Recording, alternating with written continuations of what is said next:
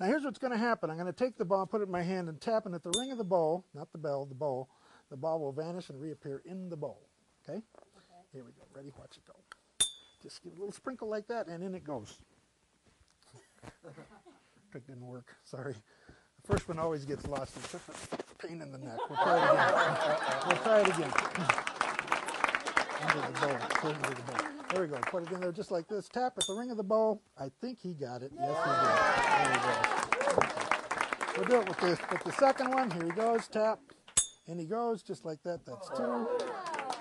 And we'll do it with the third one. Oh, silly me. Left it in the purse. you know what? I've been looking for that. okay.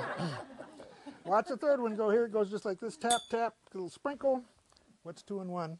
Three. Very good. Very fast. Three, just like that.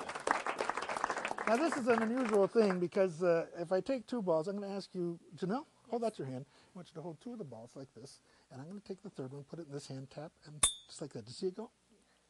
You saw it go? No. Great. Well, do it again. You see it go?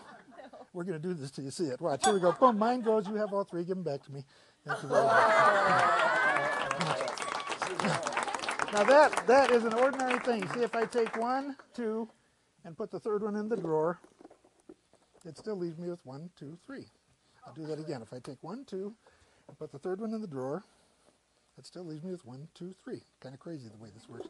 If I take two of them, and put the third one in the drawer, that still leaves me with one, two. Have any idea where they might be? No, they're back in the purse.